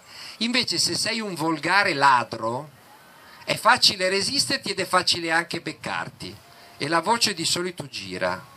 Di solito i magistrati sono gli ultimi a sapere chi ruba, sono come i cornuti, lo dice sempre Pier Camillo Davigo. Noi magistrati siamo come i cornuti, siamo gli ultimi a sapere le cose. Ma sui territori, nella politica, chi rubacchia, chi vive sopra le sue possibilità, con un tenore di vita insostenibile rispetto al suo stipendio, quello si sa. Quelli andrebbero fermati dalla politica prima che arrivi la magistratura. Poi quando arriva la magistratura quelli sarebbero già degli ex e quindi i loro processi non avrebbero più nessuna conseguenza politica, non ci sarebbe più nessuna tensione fra magistratura e politica e la politica farebbe bella figura perché quando arrestano uno il segretario del partito potrebbe dire hai voglia io l'ho cacciato dieci anni fa, meno male che siete arrivati. Invece adesso che cosa succede? Che li pigliano sempre quando sono all'apice della carriera, nessuno si è mai accorto di nulla e la gente dice ma bisogna aspettare sempre i carabinieri perché qualcuno venga mandato a casa. Ma i controlli interni ai partiti dove stanno? Ma come li selezionate? Dai mattinali di questura? Perché poi vengono indagati e li tengono perché non sono stati ancora condannati in primo grado, li condannano in primo grado, li tengono perché non sono stati mica condannati in appello, li condannano in appello e li tengono perché manca la Cassazione, li condannano in Cassazione e a quel punto dice poveretto, dopo dieci anni di calvario non vorremmo mica mandarlo a casa. E li tengono anche dopo la Cassazione. Hanno condannato, scusate finisco la lista perché è meravigliosa, hanno condannato Gramazio, Gramazio era il capogruppo del centrodestra in regione, 11 anni, lui magari si fa gli 11 anni ma all'italiana, quindi poi sono la metà, ma eh, chi l'ha messo lì e l'ha lasciato lì risponderà, boh, Panzironi era il capo dell'AMA, 10 anni, chi ce l'ha messo e chi ce l'ha tenuto? Risponderà, mistero. Coratti era il presidente del PD del Consiglio Comunale. Voi sapete che il presidente del Consiglio Comunale decide gli ordini del giorno, decide di cosa si discute e di che cosa non si discute. Sei anni. E avanti di questo passo. Allora questa è una sentenza che quando i politici avranno finito di parlare di mafia sì, mafia no, dovranno per forza, se qualcuno gli farà le domande giuste, rispondere anche di chi ha scelto, di chi ha promosso e di chi non ha cacciato per tempo questa gente perché sicuramente lo sapevano prima dei carabinieri e prima della procura che questi rubavano, perché Buzzi non è mica un angelo eh, invisibile. Eh. Io una sera ho fatto un dibattito con quel pover'uomo di Orfini, che a me ormai mi fa pena, eh, in, in televisione cioè è uno che non ne azzecca una ma manco a pagare, ma manco per sbaglio, persino gli orologi fermi due volte al giorno danno l'ora esatta, lui manco due volte al giorno, eh, è un caso pazzesco, eh? quando dovrebbe dare l'ora giusta sposta la lancetta. Ecco, Orfini una sera, quando io gli ho detto ma scusate ma eravate circondate da ladri e circondati da ladri e non ve ne siete accorti? Anzi li avete promossi. E lui ha detto, e chi poteva mai sospettare di Salvatore Buzzi? Era un insospettabile incensurato. C'è un filmato dove mi si vede che faccio degli occhi tipo ipo, ipo, ipotiroideo, cioè degli occhi che mi uscivano dalle orbite e gli ho detto incensurato, ma lei lo sa che Buzzi ha un ergastolo? Lei lo sa che perché ha l'ergastolo Buzzi? Perché ha dato 34 coltellate al suo socio in affari fino a ucciderlo. Buzzi è stato condannato all'ergastolo e si è fatto una ventina d'anni, perché in Italia nessuno fa l'ergastolo vero, credo si sia fatto una quindicina, ventina d'anni, dopodiché è stato graziato perché era diventato bravo faceva l'assistenza ai detenuti. Intanto ha conosciuto una serie di altri galeotti in galera che poi usciti hanno fatto la banda. Buzzi era comunista, no così, così. E si è messo in società con Carminati che insomma era proprio dell'altra parte, veniva dai NAR, veniva dalla banda della Magliana si sono messi, poi Spezzapollici, poi questo, poi quell'altro, Alemanno che aveva fatto anche lui una capatina in galera per una delle cose, poche cose buone che ha fatto in vita sua, una manifestazione contro Bush per la guerra, no? però ha fatto un po' di casino, l'hanno arrestato che menava. E, ehm, allora si sono incontrati in galera e hanno, e hanno raccolto gli elementi per fare poi la banda che è andata fuori e che si è messa a gestire. Allora, voglio dire, uno che entra e esce dal comune di Roma e dalle municipalizzate fa il bello e il cattivo tempo e c'ha un ergastolo, non ti insospettisce. Ma che deve fare uno per diventare sospetto per la politica italiana? Se non basta neanche che abbia dato 34 coltellate. Guardate, 34 coltellate. Pensate quante sono? Una, due, tre, quattro, fino a 34 bisogna avere un pelo sullo stomaco così perché io capisco uno che in un impeto di ira a non lo, compre- non lo, giustifico, ma capisco il delitto di impeto, ma 34 coltellate vuol dire che è proprio molto premeditato e molto, molto, molto. Infatti gli hanno dato l'ergastolo. Per Orfini era insospettabile. Io non so cosa deve fare uno per diventare sospettabile per Orfini. Forse fare una strage, non lo so, bombardare una città, non lo so che altro devi fare. Questa è la sentenza. Poi naturalmente noi siamo paese di bizantini, come diceva Flaiano, la, la, linea più rapida da A e B da noi non è la retta, è l'arabesco, no? quindi noi ci mettiamo a disquisire no? il, il 416 bis, il 322 ter, eccetera. Per carità, gli avvocati fanno bene a esultare, avevano sempre detto difendiamo dei ladri ma non dei mafiosi, no? Contenti loro, voglio dire però eh, alla fine hanno, si sono visti dare ragione, quindi loro hanno ragione a parlare di diritto, ma la politica e i giornali dovrebbero innanzitutto parlare di fatti e i fatti sono assolutamente evidenti, lo erano anche prima della sentenza, bastava sentire le intercettazioni, bastava vedere i filmati, l'Alp al distributore di benzina o, o, o, o, questi che contavano i soldi in comune o nelle loro aziende, eccetera, eccetera. Non è che c'era tanto da, da, da, da disquisire. Ecco, i fatti dovrebbero essere al centro e poi bisognerebbe anche sapere un po' di cose per commentare le sentenze sapete, eh, da quando c'è stata Tangentopoli, purtroppo la cronaca politica e la cronaca giudiziaria sono diventate la stessa cosa. Non per colpa dei giudici che acchiappavano i ladri, per colpa dei politici che rubavano e degli imprenditori pure. Eh, allora, la cronaca giudiziaria la dovrebbero fare quelli che sanno che cos'è un processo, che cos'è una sentenza, che cos'è un reato, insomma, che ci capiscono.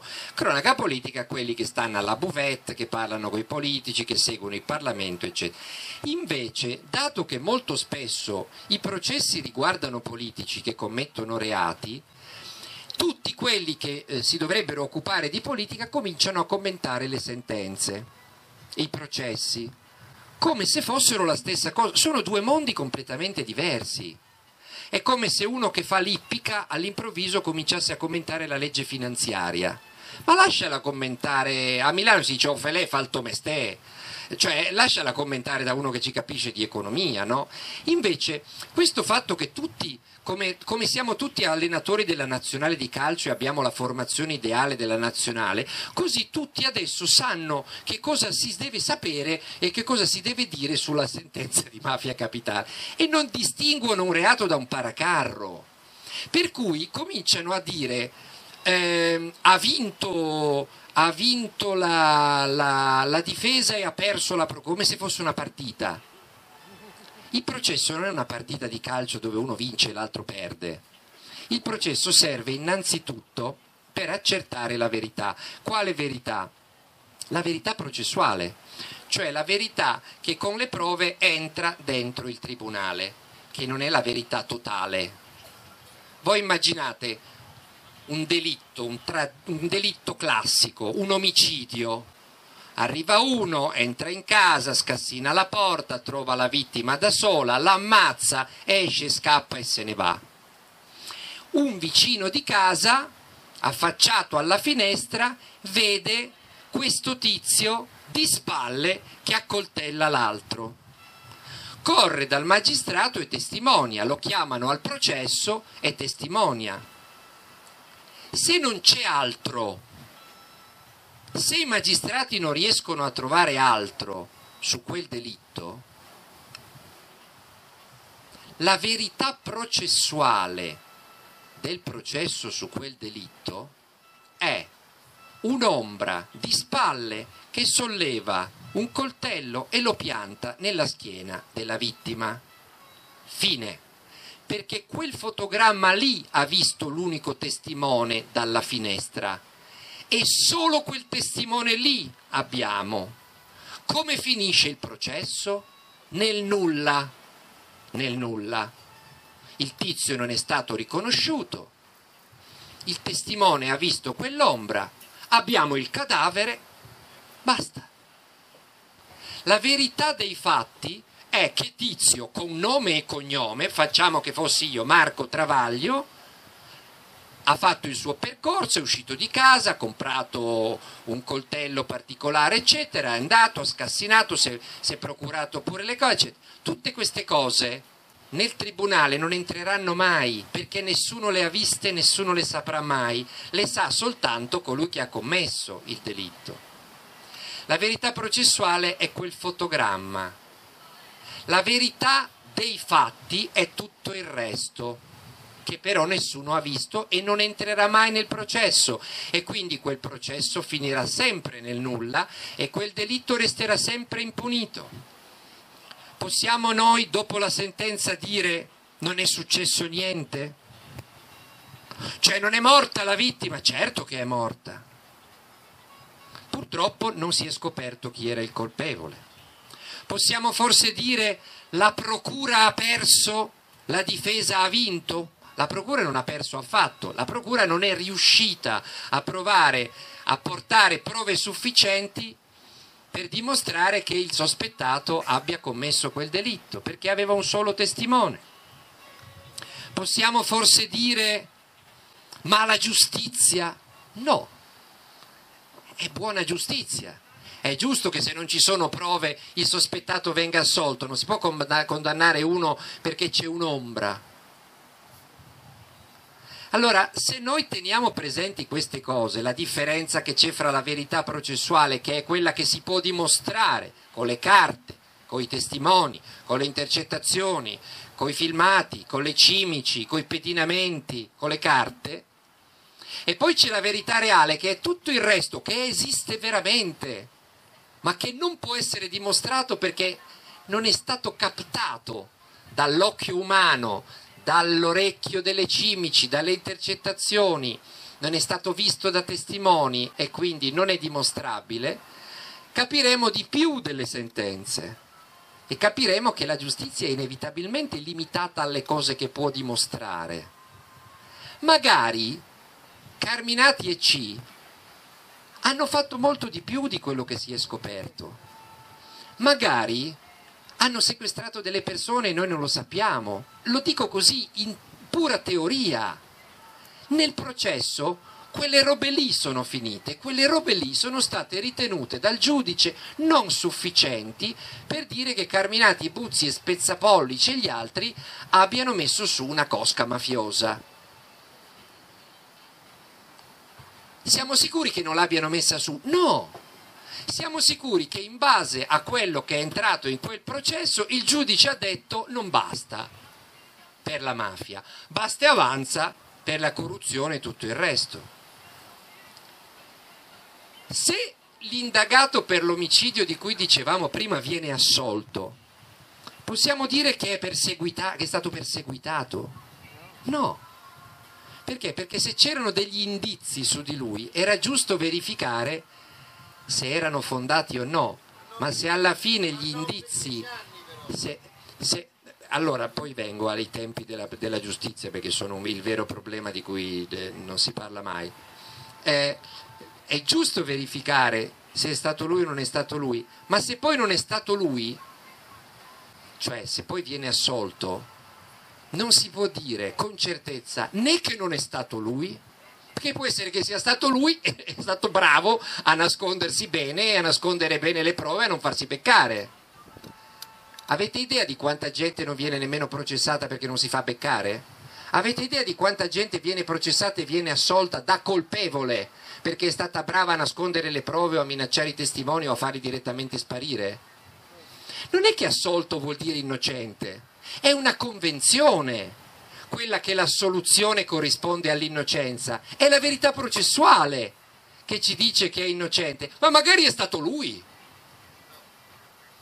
Voi siete così sicuri che Meredith Kerker non sia stata ehm, assassinata da Amanda Knox e da Raffaele Sollecito?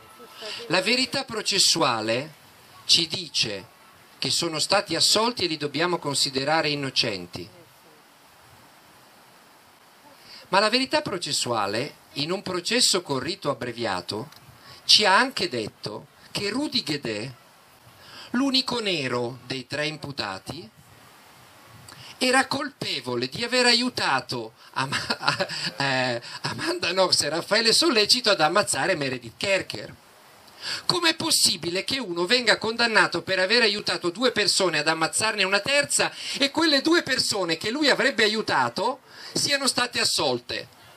Voi vedete la differenza che c'è fra la verità processuale e la verità effettiva? La verità processuale è che se in quel processo non entrano nuove prove, e non sono entrate in tempo utile, quelle esistenti non sono state ritenute, ritenute sufficienti per condannare Amanda e eh, Raffaele. Viceversa, quelle a carico di Rudy Guedet sono state ritenute sufficienti. Noi possiamo escludere che siano stati tutti e tre e che due l'abbiano fatta franca e che uno se la sia presa in quel posto anche per gli altri due? Non lo possiamo escludere, ma nel processo la verità è quella. Certo è abbastanza curioso, è abbastanza confliggente con il buon senso, visto che in quella casa, quella sera, altri non ce n'erano. Ok? si chiama prova logica. Ci sono dei giudici che vedono il bicchiere mezzo pieno e si accontentano della prova logica e ci sono dei giudici che vedono il bicchiere mezzo vuoto e non si accontentano. Allora ha sbagliato la procura? Ha perseguitato quei due martiri? No! C'erano degli indizi che meritavano di essere valutati in un processo per omicidio. Poi se i giudici li ha ritenuti insufficienti, buon per, i, per, i, per gli imputati. Diceva il Signore non per dieci anni, perché il vero problema è che qua i processi durano, quando va bene, dieci anni. Eh, ma scusate, eh, allora facciamo qualcosa per fare in modo che durino di meno, perché non c'è un altro modo, cioè non esisterà mai un'inchiesta che quando è finita ci garantisce la certezza del risultato. Perché? Perché l'inchiesta deve essere vista da altri occhi e non tutti gli occhi vedono allo stesso modo. Non esiste, non è un jukebox il giudice dove metti il soldo ed esce la canzone. C'è l'interpretazione della legge e l'interpretazione dei fatti che è inevitabilmente soggettiva nel rispetto delle norme. E se fai tre gradi di giudizio, fai vedere lo stesso materiale a tanti occhi diversi, aumenti la possibilità che cambi la valutazione di quei fatti. Quindi quando sentite qualche frescone che dice ma com'è possibile che quello è stato condannato in primo grado, assolto in appello, poi la Cassazione ha annullato la soluzione, l'ha rimandato in appello, stavolta è stato condannato in appello ma la Cassazione ha annullato la condanna stavolta e l'ha rimandato in appello una terza volta, stavolta l'hanno assolto e la Cassazione ha confermato la soluzione. Ma com'è possibile? È possibilissimo.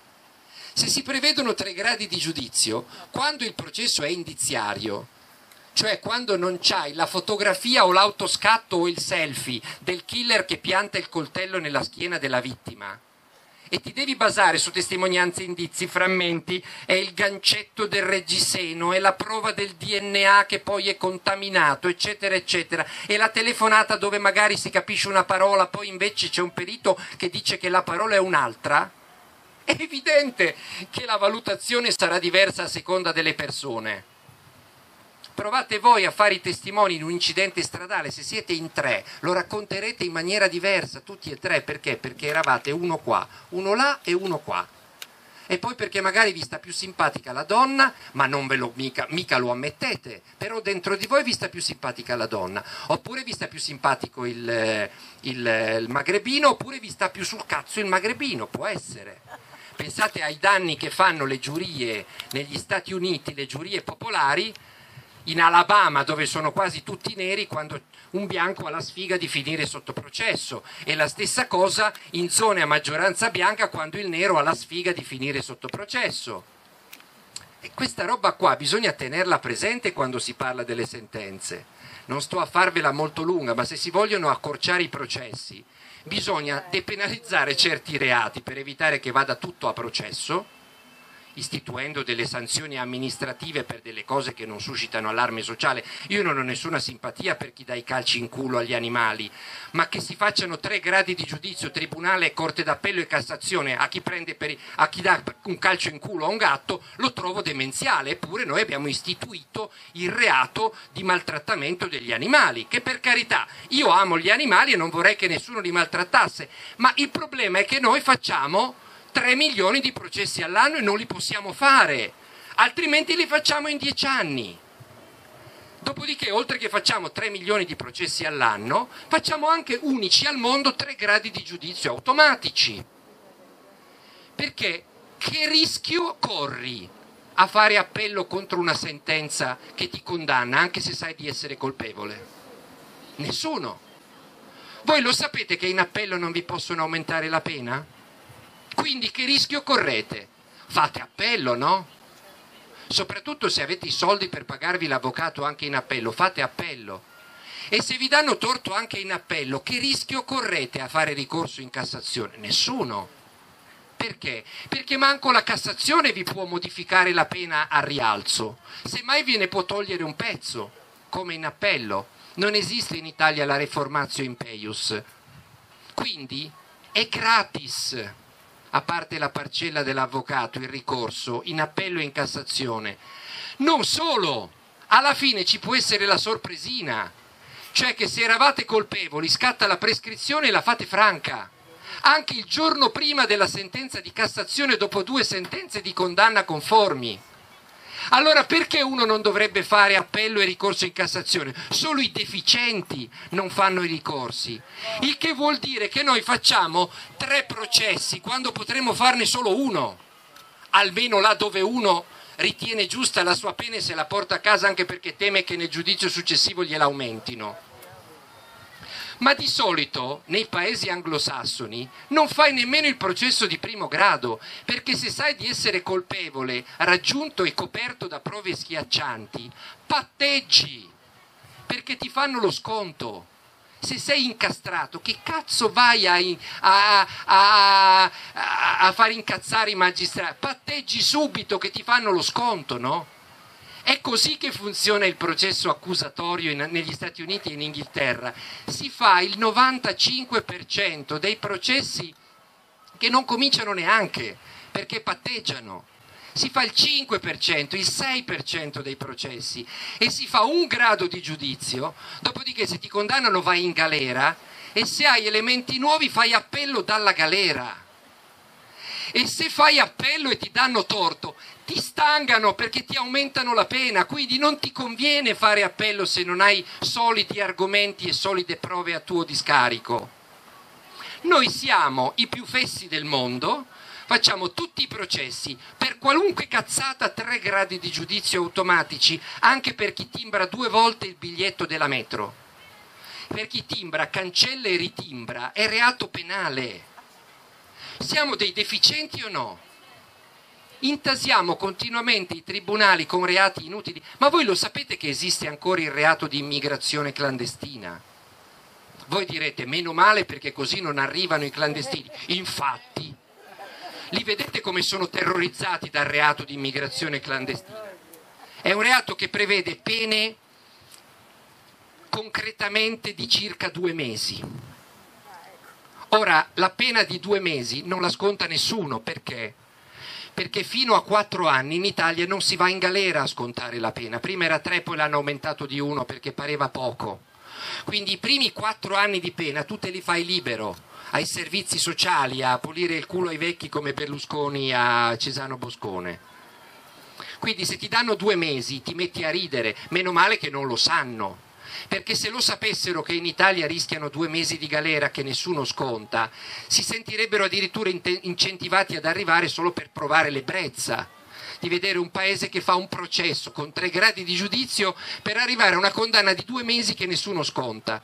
Sempre ammesso che quando arriva la Cassazione non sia scattata la prescrizione, che è rapidissima, e che tu ti faccia trovare sotto la Cassazione per farti consegnare la sentenza. Ma se sei un immigrato clandestino, ma che fai? Aspetti la sentenza di Cassazione, non si sa come ti chiami, il nome che dai è falso, non hai i documenti, ma cosa fai? Processi fantasmi? Sapete qual è l'unico risultato di questo, de, di questo delitto demenziale che istitu, ha istituito Maroni insieme a Berlusconi? Il risultato è duplice. Uno che le procure di Agrigento e zone limitrofe dove sbarcano i, i clandestini devono aprire ogni anno decine di migliaia di fascicoli contro fantasmi che nel momento in cui li processano già non ci sono più, tutti contumaci, ma in Italia si fanno anche i processi in contumacia. Immaginate il sovraccarico, la Procura di Agrigento ha cinque pubblici ministeri e ha più processi della Procura di Roma e di Napoli messe insieme. I clandestini, quelli che non sono crepati nel Mediterraneo, se arrivano che hanno ancora un alito di, di respiro, li incriminano. Cioè, ma vi rendete conto della demenza? L'altro risultato è che il PM, quando li interroga appena sbarcati, nella speranza che gli dicano qualcosa per beccare lo scafista, perché ci sono dei morti a bordo. Spesso sono morti perché lo scafista li ha ammazzati perché magari facevano i matti oppure chiedevano un po' d'acqua. O magari non aveva le misure minime di accoglienza per donne incinte, eccetera. Tentano di farsi raccontare qualcosa da questi disperati che arrivano, ma non possono sentirli come testimoni, perché sono indagati per immigrazione clandestina, li devono sentire come indagati con l'avvocato. E naturalmente l'indagato con l'avvocato ha il diritto di tacere e il diritto di mentire, perché in Italia abbiamo anche il diritto di mentire in America hanno il diritto di tacere, ma se parlano e mentono finiscono dentro per oltraggio alla corte e ostruzione alla giustizia. Noi invece gli diamo anche il diritto di mentire all'indagato, quindi l'indagato può prendere per il culo il magistrato raccontandogli balle, perché è un suo diritto e siamo fatti così noi. Quindi per far durare di meno i processi ci sono varie soluzioni. Alcune sono quelle che vi ho detto, sicuramente qua ci sono altri che ne hanno altre, ma non vengono minimamente prese in considerazione perché? Perché la nostra classe politica i processi li vuole lunghissimi. Perché li vuole lunghissimi? perché se no finirebbero in galera invece di andare in prescrizione. La prescrizione ormai è diventata un'amnistia razziale, selettiva, censitaria, è un'amnistia per ricchi perché la prescrizione bisogna potersela pagare.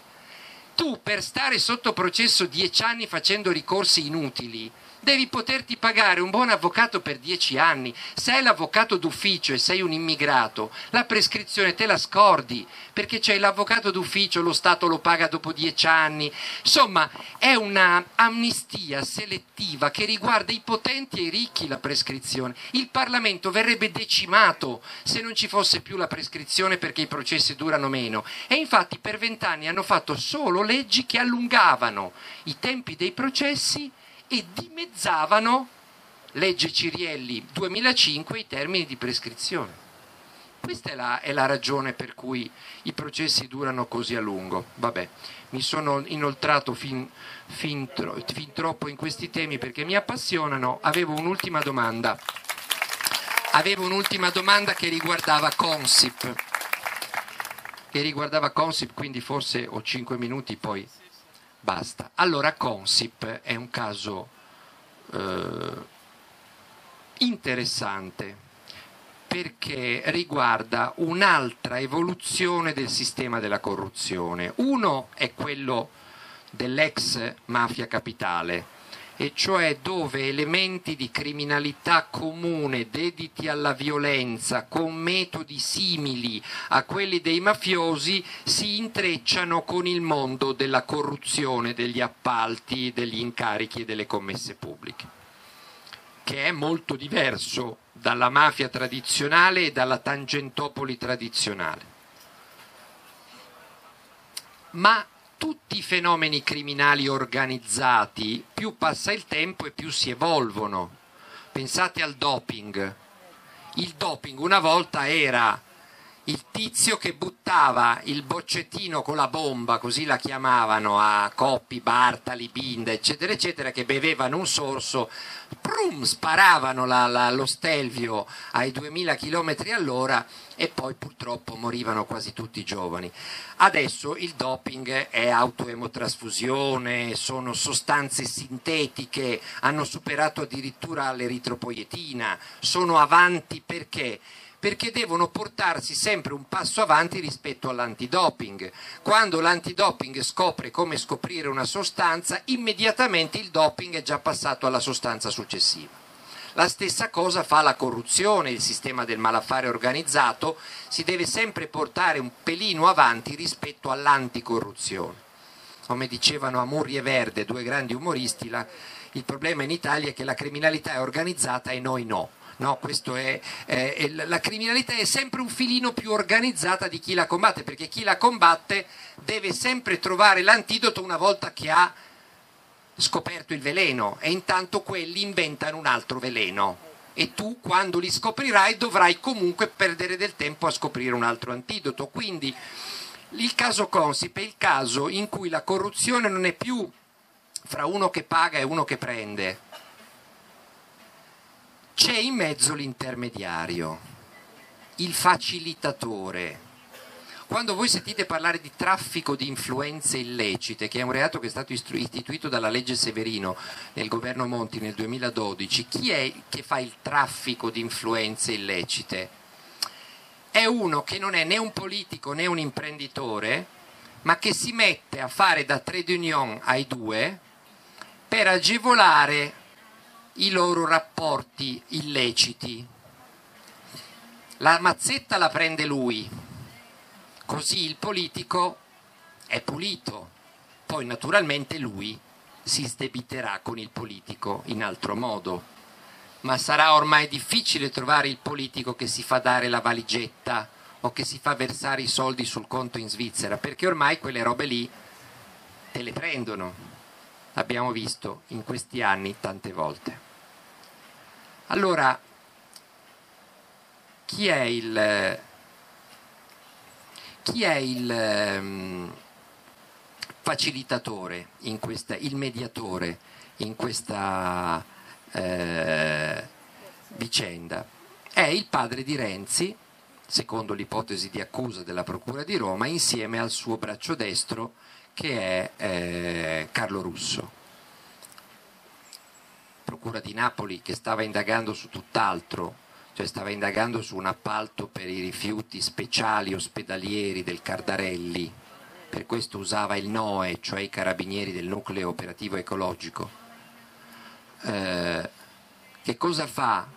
Ehm, scopre, intercettando Romeo che aveva l'appalto eh, e che come al solito era un appalto nel quale si erano infiltrati alcuni esponenti vicini alla Camorra, scopre che questo Romeo sta parlando col braccio destro del padre di Renzi, Carlo Russo, a proposito del più grande appalto d'Europa, appalto da 2 miliardi e 7, che interessava a Romeo e che però Romeo temeva che fosse dato ad altri perché lui non era abbastanza ammanicato alla Consip e quindi cercava protezioni, cercava santi in paradiso. E chi meglio del papà del Presidente del Consiglio, che aveva nominato l'amministratore delegato della Consip? Quindi è ovvio, è un'indagine che riguarda eh, trucchi per eh, alterare la gara del più grande appalto d'Europa, roba da 2 miliardi e 700 milioni di euro, è ovvio che allarma una procura e la procura si mette a lavorarci come, seriamente perché stiamo parlando di soldi nostri. Soldi nostri. Stiamo parlando della metà di una legge finanziaria, eh? stiamo parlando di poco. Averne 2 miliardi e 7 fanno le intercettazioni, mettono le cimici, le ambientali, i pedinamenti e tutto quanto, sono carabinieri che vengono dall'antimafia, sanno come si fanno a trovare le cose, addirittura rovistano nella spazzatura. Dalle intercettazioni si scopre che Carlo Russo eh, garantisce che il padre di Renzi farà avere un trattamento di favore a questo Romeo. E poi ci sono dei testimoni che dicono che si sono visti personalmente anche Salvatore Romeo e il padre di Renzi direttamente, senza l'intermediario dell'intermediario. Lo dice il commercialista del PD di Napoli, un certo Bazzei, e lo dice il sindaco di Rignano. Perché? Perché gliel'ha detto il padre di Renzi, che è suo amico. E poi nella spazzatura sotto gli uffici della Romeo, qua a Roma, i carabinieri del Noe trovano dei pizzini accartocciati che corrispondono a degli appunti che Romeo prendeva mentre parlava al telefono, ma al telefono alcune cose non le diceva perché le stava scrivendo. E lì c'era scritto 30.000 euro al mese per T. Punto, e 5.000 euro a bimestre per CR. Punto. Guarda caso le iniziali di Tiziano e di Carlo Russo. Allora, dato che non siamo tutti scemi, il sospetto è che in cambio dell'interessamento alla Consip per l'appalto più grande d'Europa, Romeo volesse sdebitarsi, Romeo sempre Alfredo, eh, c'entra più nulla con il, eh, il, capo della segreteria della Raggi, no perché si è parlato molto di più del capo della segreteria della Raggi che non ha commesso alcun reato e che non è nemmeno indagato, che non di quell'altro che è indagato per aver cercato di truccare l'appalto più grande d'Europa, perché poi i giornali a questo servono, a trasformare in pulci gli elefanti e gli elefanti in pulci. Ma in ogni caso... Ehm, l'accusa eh, che la Procura di Napoli e poi la Procura di Roma muovono a questi signori è il traffico di influenze illecite per il padre di Renzi e per eh, il suo mediatore. Il padre di Renzi è il mediatore e Carlo Russo è il mediatore del mediatore, che stavano in mezzo fra Romeo e il capo della Consip. Ok? C'è il pizzino che dice quanto avrebbero avuto e poi ci sono i fatti, cioè che quell'appalto è fermo da un anno e non è stato assegnato perché c'erano pressioni per darlo a Tizio, ma c'erano anche altre pressioni da ambienti di Verdini per darle ad amici di Verdini. E poi c'erano le solite cooperative rosse che erano sempre ben piazzate, e insomma c'erano varie pressioni. Questa è l'inchiesta, un'inchiesta enorme che a un certo punto viene rovinata perché appena si scopre che c'è di mezzo il padre di Renzi, un formicaio di istituzioni, invece di servire lo Stato e di starsi zitte, accorrono ad avvertire gli amici di Renzi che c'è l'inchiesta e immediatamente il capo della Consip fa togliere le cimici e le microspie dal suo ufficio. Il padre di Renzi smette di telefonare, smette di usare il telefono, smette di mandare i messaggi tutti smettono di fare quello che stavano facendo e così se c'erano tangenti in arrivo si fermano. gli hanno dato una bella salvata a questi signori, rovinando un'inchiesta enorme. Di questa soffiata sono accusati il ministro Lotti, il comandante generale dell'arma dei carabinieri, il comandante dei carabinieri della Toscana, il consigliere economico di Renzi e presidente della municipalizzata di Firenze Publiacqua, Vannoni. Poi c'è Romeo, arrestato per corruzione. E poi c'è un altro dirigente della Consip arrestato per corruzione. Di tutti questi indagati, per questi fatti, chi è l'unico che è saltato? È facilissimo perché è l'unico non indagato. Il capo della Consip, Marroni. Perché l'hanno cacciato? Perché non ha dato l'appalto a Romeo, eh, ma aveva ascoltato se non altro le raccomandazioni del mediatore del padre di Renzi e di Verdini. No, non l'hanno mandato via per questo. Se avesse fatto solo quello l'avrebbero promosso. Il problema è che Marroni, quando i carabinieri gli sono entrati in ufficio, sbattendo le porte, incazzati come delle bisce perché aveva appena fatto togliere le cimici rovinandogli l'inchiesta, gli hanno detto chi è che vi ha avvertiti? e lui se l'è cantata perché se l'è fatta nei pantaloni e quindi ha detto del set, Saltamacchia, eh, Vannoni e Lotti.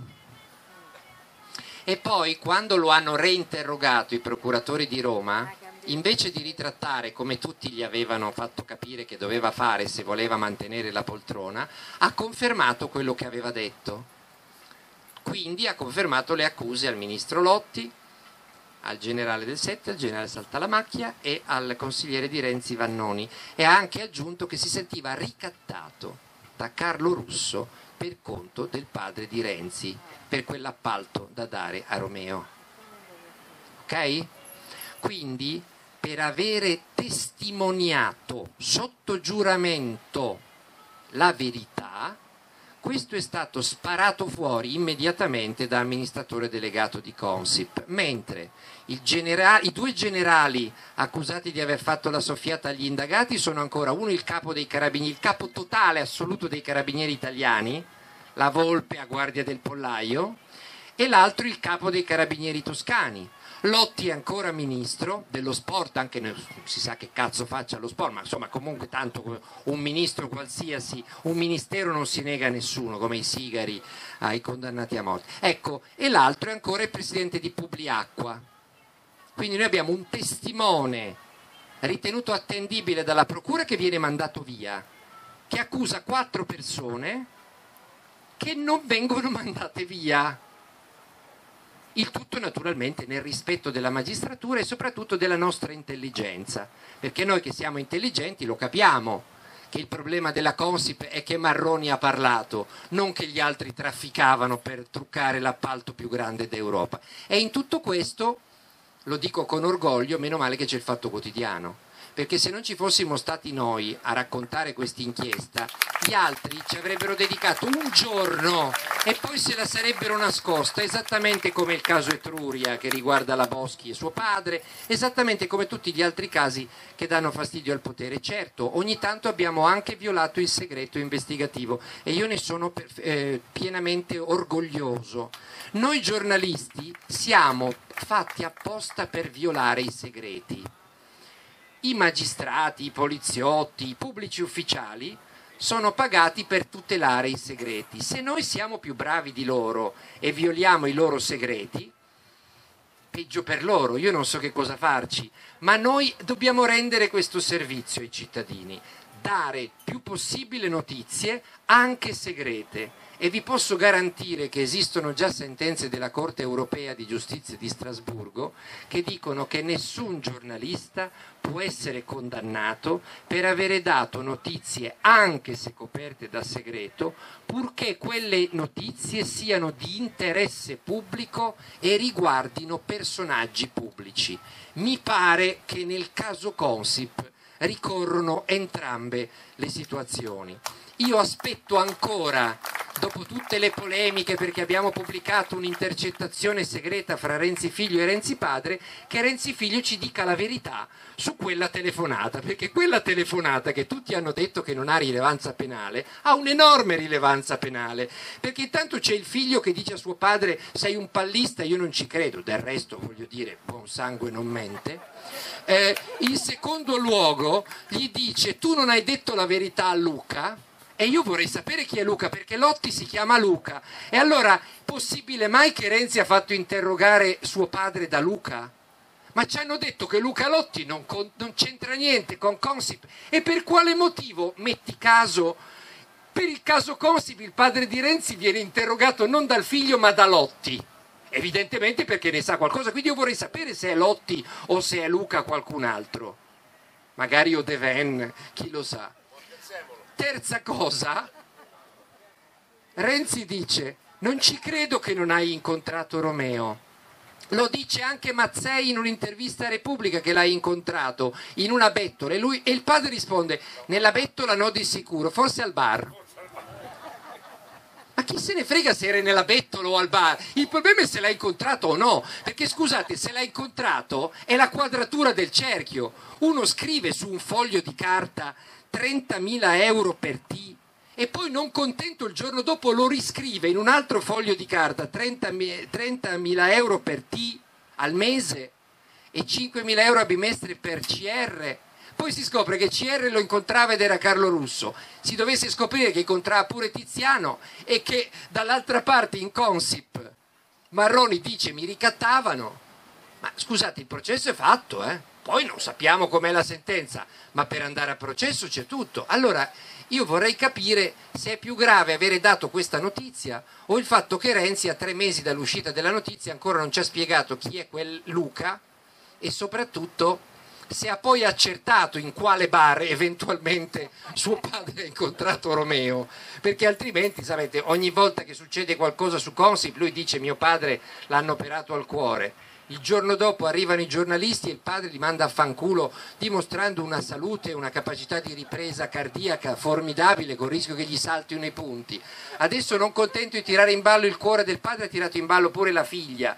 Io mi ricordo che quando Berlusconi come alibi usava i suoi figli e giurava sulla loro testa, Dario Fo diceva meno male che il Padre Eterno è misericordioso, quindi più che un attacco di dissenteria a quei poveri ragazzi non li potrà far venire.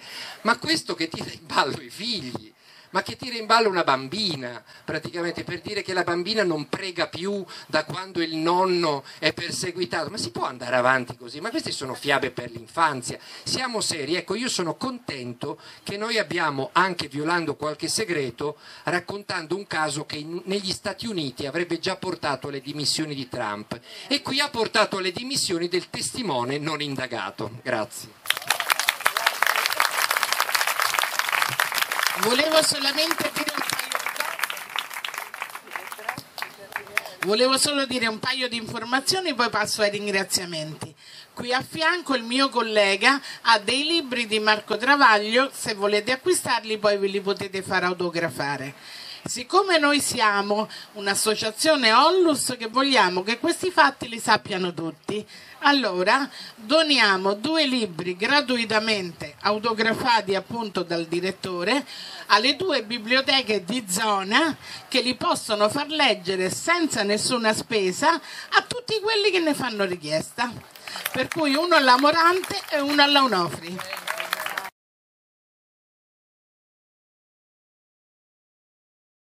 嗯。